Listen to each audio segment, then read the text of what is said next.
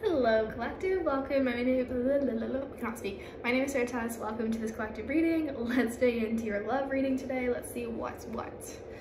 Shall we? All right, spirit guides, ancestors, gods, goddesses, all living right light. Please come into this space, allow me to tap into this collective energy, keeping them safe, loved, and protected, and keeping me safe, loved, and protected. What do we need to share with this collective today? Ooh, all right. Things are already flying out we have King of Gems, the realist. Okay, so when it comes to love, you are in this time of transformation, death and rebirth. You're really working on your life right now. You're working on your habits. You're working on work.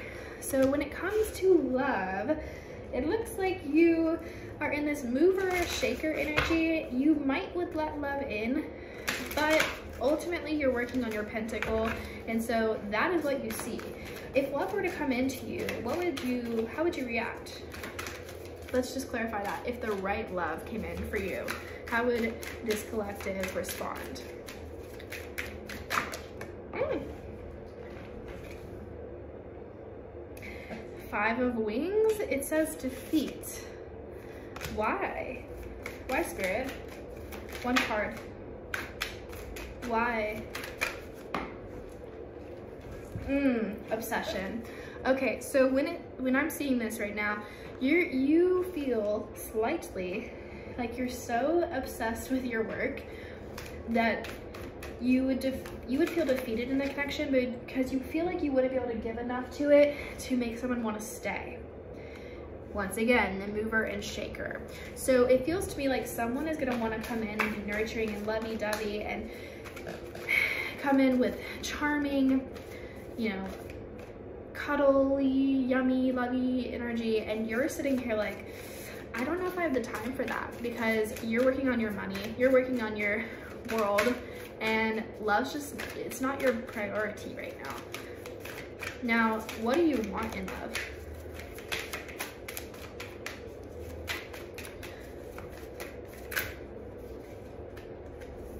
Want reward. So you do want love, you're just scared right now. And so you throw yourself into your work to avoid the emotional switcheroos of energy that could potentially come in if you connect with certain people. Yeah, okay, so you keep yourself in this moon energy of kind of hiding in the dark, being in your own subconscious a little bit, maybe overthinking situations.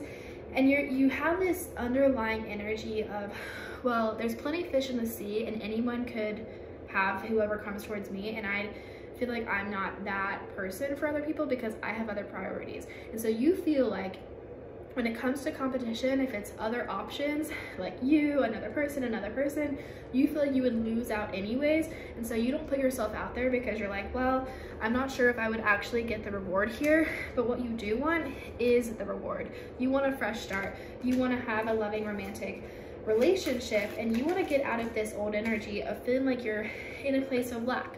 You want six of roses, you want victory, and what does it look like is gonna come in for you in the future? Wow, I just got a paper cut. So that's what it feels like. It's like you feel like love is gonna affect you and cut you down and hurt you. And what is actually the case is it's not gonna hurt you as deeply as you think it will. It won't affect your emotions as deeply as, it, as you think it will. Um, when it comes to work and getting your life together, it will actually be something that you're gonna be determined to build upon to have deeper connections with. You may have those little paper cuts or those situations, those conversations that are uncomfortable where it feels like something cut a little bit and it's like, oh, this is awkward, this is uncomfy, I don't know how to do relationships in a healthy way. But what it looks like to me is that you are gonna be motivated in your king energy to go towards this connection from a more masculine view because that's what you're stuck in when it comes to work and so it's going to kind of transfer into your relationships because you don't want to get your heart too invested it looks like. But you do want love. So you're going to be motivated to go towards new connections and to allow people to come into you. You're also potentially going to be someone who goes out of your way to potentially date someone but you are going to be a very professional person when it comes to those connections. You're going to take things slow. You're going to look at things very realistically and very, very much in an analyzation way, which will put you into overthinking just a little bit. Mm-hmm. Okay, so you're gonna be calling justice on lots of things. You're gonna be seeing people's truths. You're gonna call yourself out on your own truths because at the end of the day, you want healthy, loving relationships. You want 11 11 balanced energy, divine alignment. And so you want someone who can meet you where you're at when it comes to relationships. You want someone who's similar in attitude with you and who isn't gonna put, put you into a hangman energy of having to change your opinions or switching into a different energy to be with someone, you feel like in your core that you've done your work. And you have different perspectives and you've already had those switches in your perspective. And so you feel like whoever comes into your energy needs to be similar who has done the work also or who is willing to have shifts in perspective or to just be open to hearing you out in general. Because i feel like in the past you've met people or been in connections with people where you've read the signals wrong and maybe those connections might not have been super honest or vocal or maybe you even didn't set boundaries in the first part and say hey this is what i want in a connection and then it made it kind of um, the lines were kind of crossed a little bit or little wiggly waggly, a little bit suspicious. And so when it comes to relationships, they're gonna there's gonna be a lot of communication that needs to happen, messages, either in person or through the phone or email or you know, whatever, to allow yourself to have hope in a relationship moving forward in a romantic way. So that relationship is it could be romantic, it could be not. Um, it just depends on the relationship you're looking for, okay? So what you need to know about these relationships that potentially are coming in for you, they could change your life, two of gems.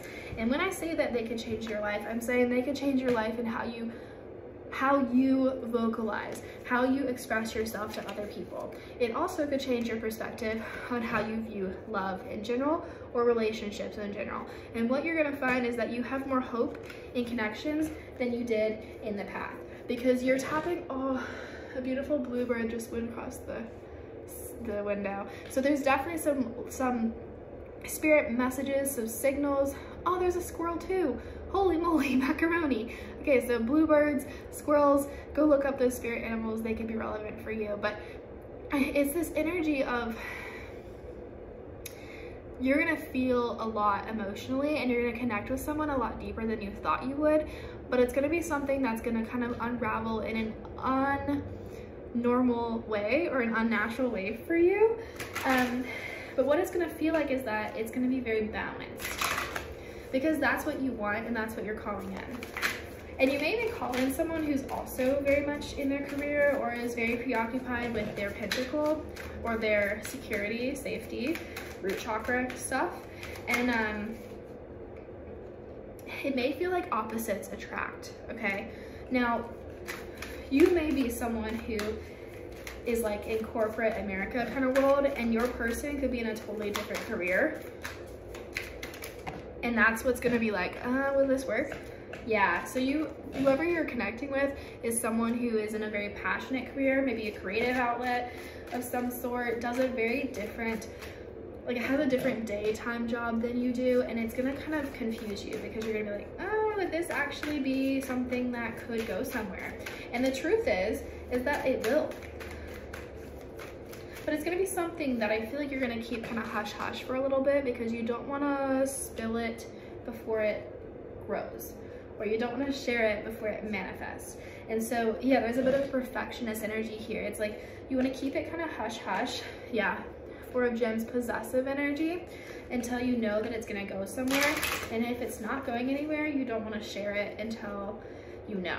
So, and this could even be something where like, you don't want family involved, you don't want coworkers knowing what you're doing, you don't want um, your kids knowing what you're doing.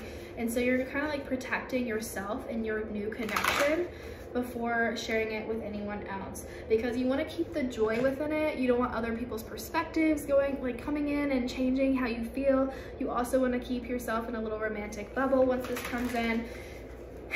Yeah, it just feels like it's something you really want to keep precious and like close to your heart. Okay. And I think that's a really good way to approach relationship, Princess of Gems. Keeping things vulnerable, thinking mm, thinking, keeping, I'm hearing keeping things light, but also vulnerable. Um, yeah, this is gonna be something that is gonna be highly supported. it's gonna feel professional, maybe even a connection with someone in your professional field, possibly. But where it's going is triumph. So there's gonna be some really good things that come in with this but there is potentially some insecurities that might come in with anxiety. So you're gonna have to really learn how to listen to your intuition and not your fear. At the end of the day, fear can control lots of different things. So there's a need to bring love into the situation because love conquers all, right? So be courageous, believe in the possible of having something beautiful come in to your life and stay, stick, progress. You are lucky and you're calling in something really special.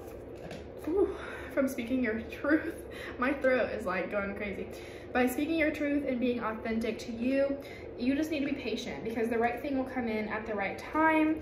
High Priestess energy, trust your intuition and also remember your independence and your vulnerability. Don't change for anybody. Don't pretend you're someone else just to be in a connection with someone. 1111. Make sure that you're reevaluating your life. Four of Shells and that you're only allowing in things that are equally balanced and have similar intentions to you, okay? So trust, take the leaps of faith towards those new connections, those new peeper, peep, people, peeper. Mm, I hope there's no peeping toms. Anyways, um, yeah, you may have people that are a little bit jealous or would want to watch a relationship online or are curious about you and your relationships or are curious if you're in relationships. So that might be a reason that you want to keep your connection hush hush because people are going to see what's going on with you, your opportunities, your new relationships, those connections and and people if they have negative frequencies might want to cause power moments or might want to just wish bad things on you and who you're with. So that is why this hermit mode, this introspection, this privacy kind of energy is coming in, this introspection for intellectual connection. It, feels like your connection is going to be very happy, very intuitive, very divine, very beautiful, and it's going to be something you're not going to want to it sounds weird, but you're not gonna wanna share it with the world just yet. Let's get one more card. Why?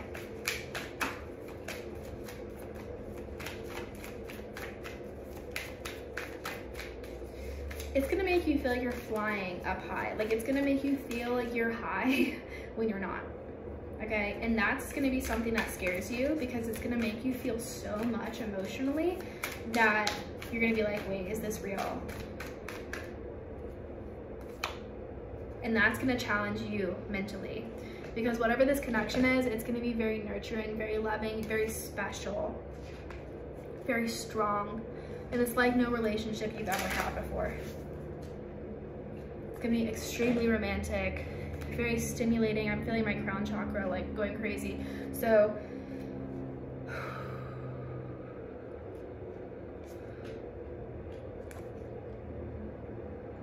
this is a very divine connection coming in, queens and kings,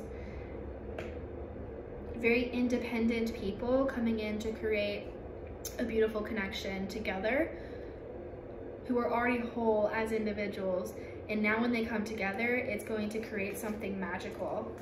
The lovers attraction. It, it, it's gonna be boosting and booming with creative energy, passion. Oh, like it's gonna feel like you guys, women, men, whoever, you people are each other's muse. Okay? You will feel like you are each other's muse and you will feel so much inspiration from each other and it's going to be an extreme illumination to your power. To your power. Like you will feel the vibrations going through you. You will almost feel the connection with the other person. You you will feel like your heart is their heart. Oh my god. That's amazing. So much fulfillment. Nine of shells. Emotional fulfillment. You're gonna wanna just cocoon together and stay in and like cuddle on a blanket or in a blanket and just be in your own bubble. Your energies are just going to intertwine magically and beautifully and it's gonna completely shock you. Shock you. Shock you. It's good. It's gonna shock you. Crazy. Crazy. Magnets. That's what I'm hearing. Magnets. All right. That is your reading. I hope it was really great. it sounded good to me. Have a beautiful rest of your day. If you want any services with me, they're listed down below. See you soon.